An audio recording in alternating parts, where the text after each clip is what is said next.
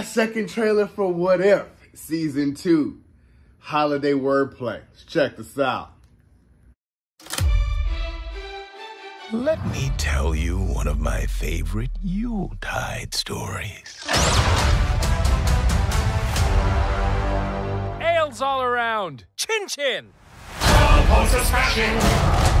Eleven now it's cracking. Ten rings are glowing.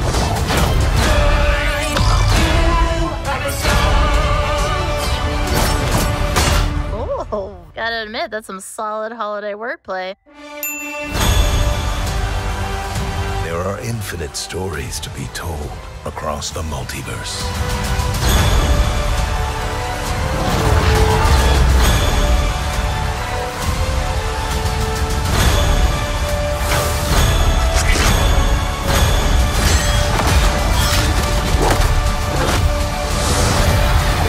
Well, you got the color of the suit, right? I'm Santa Claus, baby.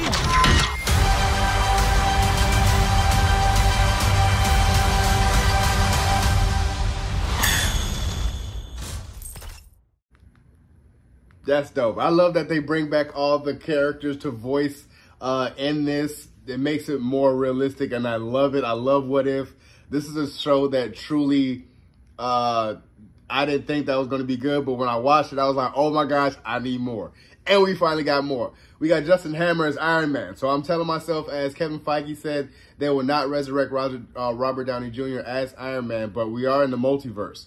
So you don't have to resurrect that Iron Man, but you still can have him play Iron Man nonetheless in another uh, multiverse. Or you just have him play Tony Stark, where someone else around him may be Iron Man. But I would love to see Tony Stark as Iron Man in another in another multiverse, or have Tony Stark be another character uh, like Tom Cruise or something like that. I would love that.